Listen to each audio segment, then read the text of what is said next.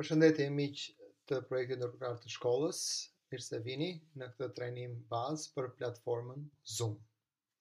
Dëshira jonë është që ju të përqafoni mësimdhënien online duke përdorur këtë platformë. Ndoshta kjo mund të duket pak si shumë, por ne dëshirojmë t'ju ofrojmë disa hapa bazë, por gjithëpërfshirës se si mund të Përdorni këtë platformë dhe disa informacione të dobishme. Gjithashtu mund të kërkoni edhe në YouTube video shpjeguese. Si çdo platformë tjetër, ka disa mundësi se si mund të krijoni një llogari, llogari falas, ashtu si edhe me pagesë. llogaritë falas në përgjithësi janë të, më të kufizuara se sa llogaritë me pagesë normale, por për një llogari Zoom ju mund të keni deri në 100 pjesëmarrës në një uh, takim me kufizimin e vetëm që takimi duhet të zgjasë vetëm 40 minuta. Për më pak se sa 3 persona, takimi mund të zgjasë pa kufizim. sigurisht llogaritë me pagesë kanë deri në 200 pjesëmarrës dhe mund të kufizohen dhe kufizimin e kanë 24 orë për një takim. Edhe llogaria falas, edhe llogaria me pagesë kanë disa të përbashkëta. Ndërsa jeni në një takim, ju mund të ndani pjesëmarrësit deri në 50 grupe diskutimi. Pjesëmarrësit mund të bashkohen edhe nga telefoni, sigurisht pasi ta kenë instaluar aplikacionin Zoom në telefonin e tyre. Ju si mësues ose si host i takimit mund të shfaqni ekranin tuaj të kompjuterit atyre që ju shikojnë nga ana tjetër. Gjithashtu ka edhe mundësi për chat për të gjithë grupin ose chat individualisht midis individëve të telefonatës. Ne do të përpiqemi të japim disa elemente bazë të këtij trajnimi, kështu që pa humbur kohë, le të shkojmë tek një browser dhe të fillojmë të shkarkojmë aplikacionin. Po shkojmë në një browser dhe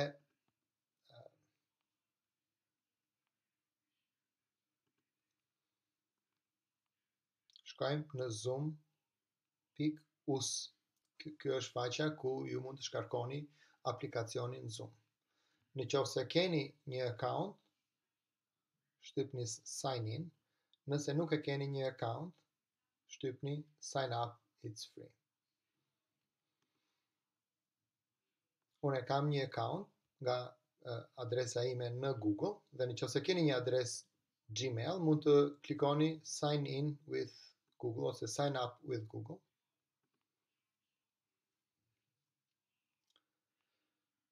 Tani ne kemi hyrë në faqen time të personalizuar. Shkojmë deri në fund të faqes dhe në kolonën download shkojmë tek meetings client dhe në këtë mënyrë ne do të mund të shkarkojmë aplikacionin Zoom. Klikoni download dhe pasi të ketë përfunduar shkarkimi i aplikacionit, ndiqni instruksionet për të instaluar programin në kompjuterin tuaj. Unë e kam instaluar tashmë, kështu që po shkoj tek aplikacioni Zoom. Kur të hapet për herën e parë, do të dalë kjo tabelë dhe ju duhet të klikoni sign in. Sign in përmes uh, Google.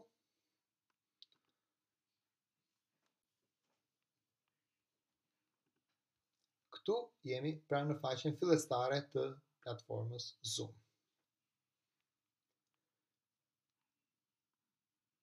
Tani le të caktojmë takimin e parë me nxënësit. Do të shkojmë tek butoni schedule. Dhe aty uh, shkruajmë titullin e takimit. Fjala vjen matematika. Klasa e gjashta. Takimin po e lëmë në datën 24 mars në orën 10 deri në orën 11. Në cilësimet e këtij takimi, tek Meeting ID, selektoni opsionin Generate automatically tek video juve që jeni hosti i takimit zgjidhni videon on ndërsa pjesëmarrësit mund të mund të zgjedhësh që të ndërsa hyjnë në takim të kenë të dalin direkt me video ose mund të zgjedhësh opsionin off. Sugjerimi im, nëse klasa është e madhe, është që të vijnë me video off dhe më vonë mund të hapin videon. Tani jemi gati ta ruajmë këtë takim dhe shtypim butonin schedule.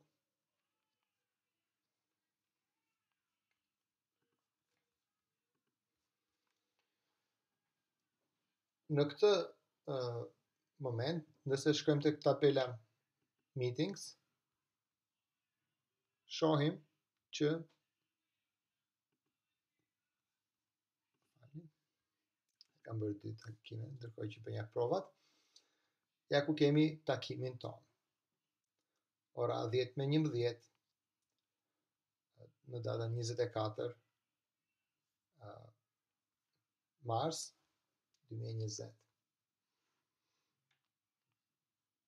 tani është koha për t'ua çuar nxënësve linkun përmes të cilit ata mund të bashkohen ose mund të vijnë në këtë Zoom call.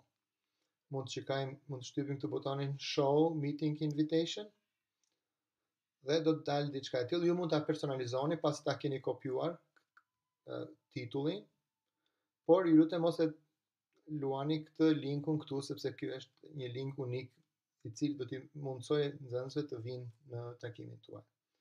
Ose mund të zgjedhim opsionin copy. Dhe pasi të jetë kopjuar kjo ftesë, ju mund ta dërgoni atë nxënësve përmes emailit ose përmes një aplikacioni mesazhesh si WhatsApp apo Facebook Messenger etj. Në këtë mënyrë, ju sapo i keni ftuar nxënësit të bashkohen me ju në një takim në një orë mësimi.